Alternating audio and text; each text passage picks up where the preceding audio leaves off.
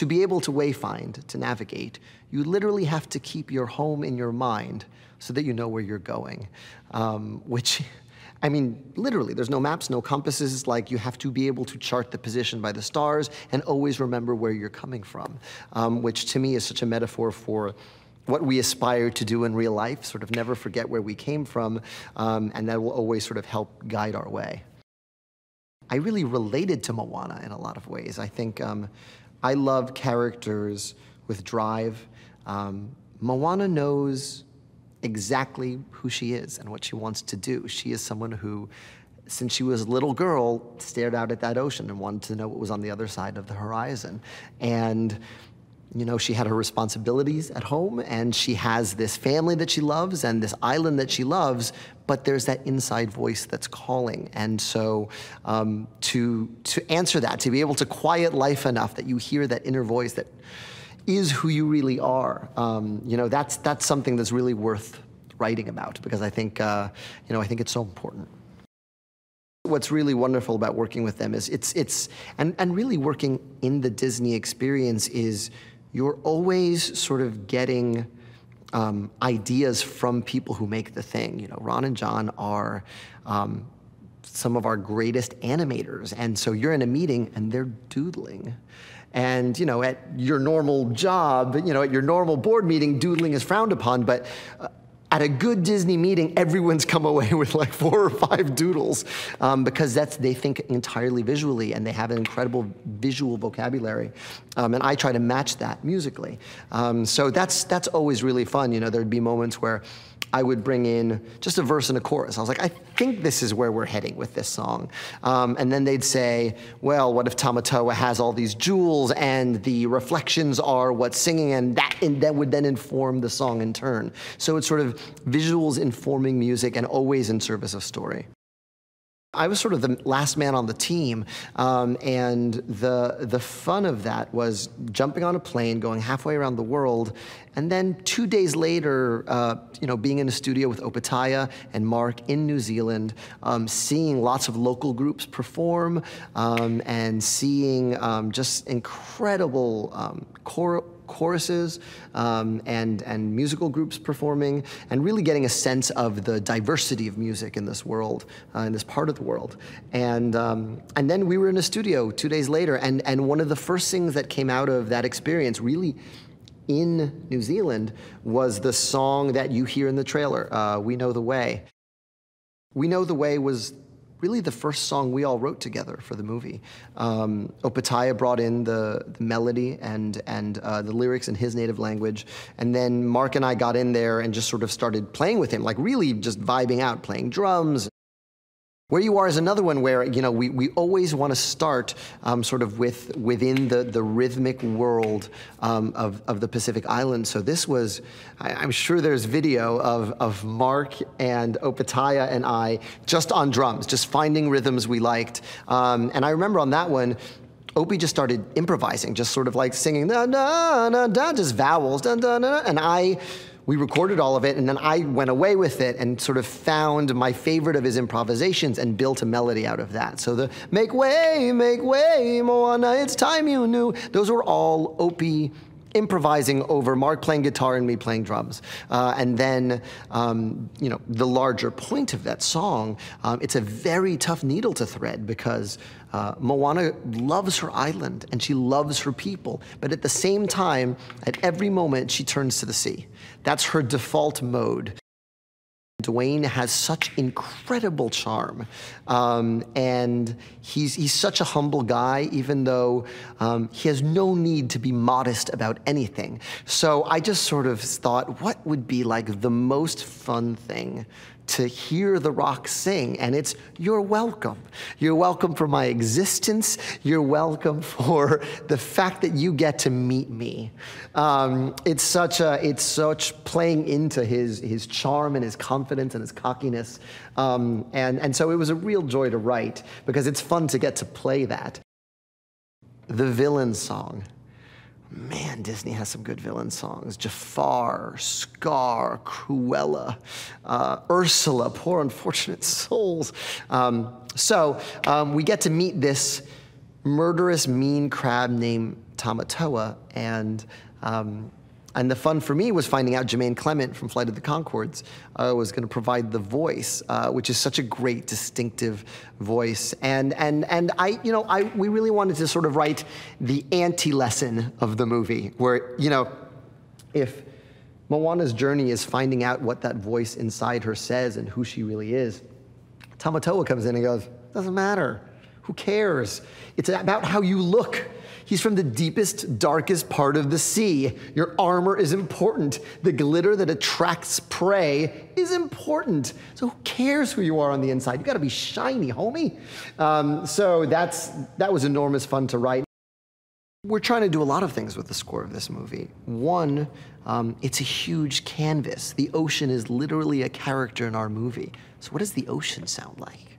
Um, it is uh, set in the Pacific Islands. What does that world sound like? So we drew upon that culture and that rich musical culture of that part of the world. Um, at the same time, it is also this young woman's journey. Um, so uh, we, you know, we sort of start on her island. As she goes further from her island, I think the music and the, the kinds of music that this movie encompasses grow exponentially with her. You have so much to look forward to when you watch this movie. Um, and you know, it's what's really exciting about Moana is it has a little bit of everything. It's it's it's both sweeping in scope and intimate.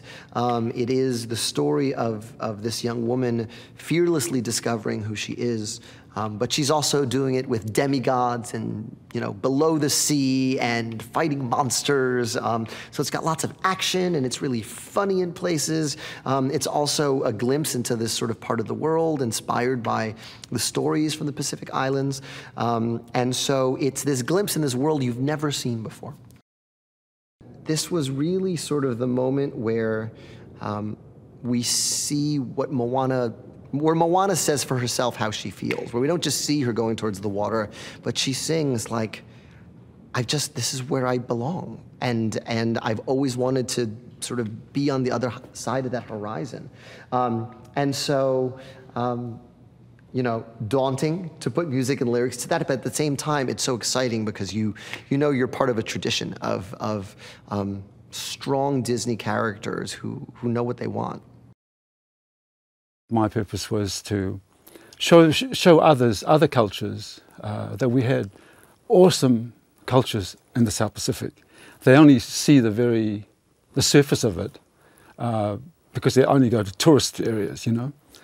And, um, and to have this uh, Disney do a movie on only um, 2,000 years ago really allows that um, culture to shine through and that it's heaven for me when I met these two gentlemen, I, I, you know, it didn't take me long to see that they were, you know, quite decent human beings, and um, you know, we they were very keen to to um, to show the world uh, in a respectful way the, the culture of the South Pacific. Um, I met uh, Lin Manuel Miranda and uh, Mark Mancina in Auckland, uh, 2014. Um, they came to a, a, festival there, the largest festival, Polynesian festival in the world, called Pasifika. And, um, you know, we sort of trying to suss each other out, and uh, I, I, didn't really know much about them, you know. And, um, uh, but they had this uh, competition at the festival, a dance competition, um, where you do Pacific, you know, fast uh, hip movements, you know. And, and Lin got up there and uh, he actually won won the competition. So all in all, that that that was it. It impressed me that yeah, this is the right man for this thing, for this job. when we get together, which is usually for a week, something like that, um, there is some there is some sort of magic that generates. You know, I mean, um, Lin with his amazing words. You know, he just seems to find uh, the right phrasing for different things and uh, and Mark, of course, his experience is, is incredible, you know. Um, so I'm the newbie, you know. I'm the new kid in town, so I arrived there and, uh, but, you know, I think the, the thing that made me sit in well was, you know, I, my firm belief that I wanted to promote my culture, you know.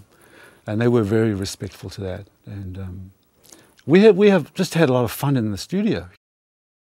I write via emotions, you know. It, it's, it's, it's, um, I, I can feel where it goes. And, and so we have this amazing collaboration between, you know, the three of us where, you know, all these paper lying around with all those dots on it, and, and I'm and I'm throwing emotions in there, and and uh, yeah, you, and it takes us to a nice place. Well, for, we know the way is very simple. I mean, uh, the words uh, uh in uh, Samoan and then Tokelauan just says that we are voyagers called to the sea, called by the great God of the sea, um, who gives us a, a challenge, puts up a challenge. We take on that good challenge and uh, so prepare. We know the ways of the sea, you know, via the skies, the currents, etc. All those words are in there, although most English-speaking people wouldn't understand. But with Lin coming in with all that beautiful, those beautiful words, it just married the whole thing together. Where you are, yes, I remember that. We were uh, at the animation studio, and um, you know, I remember banging on the table, and uh, and Lin was across, and he comes running across here, and Mark picks up a guitar, and off we went, you know. And then Lin took it home and finished off the lyrics, and that's how it came up. But uh, just a celebration of the of the South Pacific or the Pacific Islands as a paradise, you know. I mean, that's another very exciting thing, you know. Uh, it is like a paradise, and that's what that song uh, means to me, you know.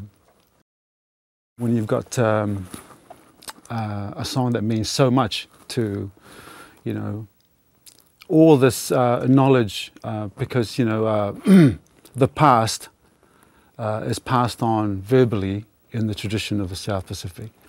So the idea that Moana already knew, it was already inside her, uh, all this detail, all this knowledge of, uh, of her people, of her culture, of her, you know, who she was. This was who she was, you know. So, yeah, that was, uh, once again, uh, yeah, quite an exciting thing for me.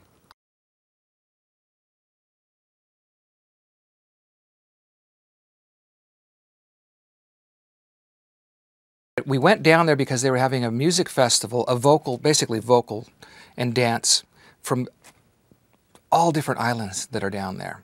Everybody comes and brings their own music and, or, or, and performance to this big event, and they all perform. And uh, it, was, it was exciting, and we got to hear a wide range of music and music styles, mostly on the vocal side of it, but also in the dance and the movement. So we all met to see that and take part of that. And then they rented a studio, and we went to, into the studio with some equipment and just played around, you know, like a like a band, like starting a band, just trying to come up with ideas and getting to know each other. It, the the score is primarily percussive. There's a lot of percussion and a lot of vocal. You know, whether it's the songs, which obviously have vocals, but then also the score has um, a Pacific choir on it. It has a group that Opetaia put together part of his family, part of his people that he works with in his group, Te Vaka.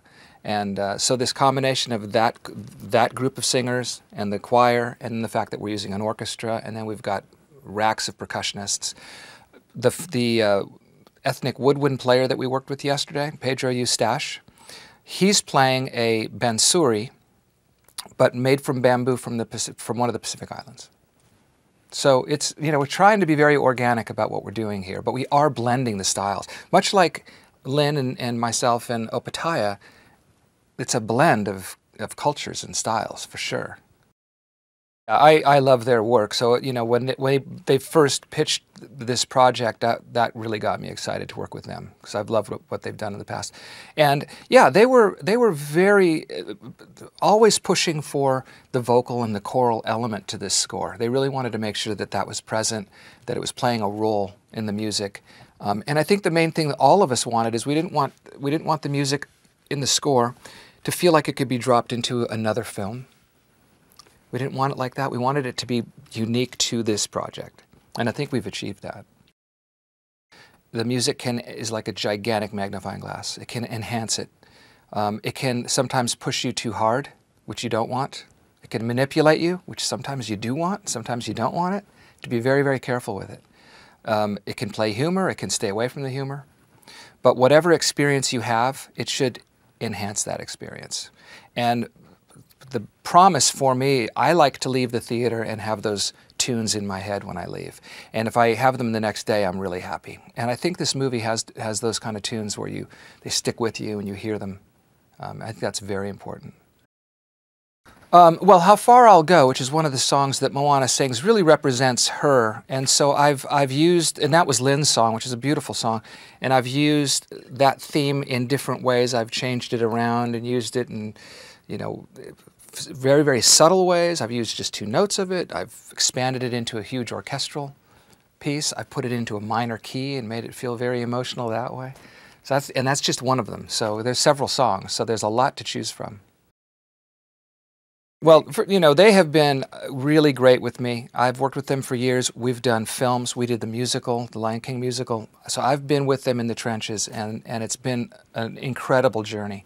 But their classic movies, you took away those melodies. Besides the animation, besides all the things that everybody loves, you took home those melodies. And I've always, like every project we've done, Tarzan, Lion King, uh, Moana, I've tried to make sure that you take those themes home with you and, and they stick with you. It's essentially important, I think. Well, first of all, I think the songs are great. You know, we, we, we really tried to avoid having any songs in here that weren't in their own way unique, a different way of doing it, you know, not a formulaic way. Uh, so I think the songs, I think there's a song there for everybody. There's, they're different. They, they're not, there isn't like one style of song. And the backdrop to the movie being percussive and choral and orchestral, but then pop at times and have this really, these great rhythms from the South Pacific, all of that stuff is so likable that I just think it's a fun movie. I think people are going to really enjoy that aspect of it. Hey guys, did you know that Pierce Brosnan was contractually forbidden from wearing a full tuxedo in any non James Bond movie from 1995 to 2002? For this and more movie facts, click on more videos. But if you want something else, click on the playlist.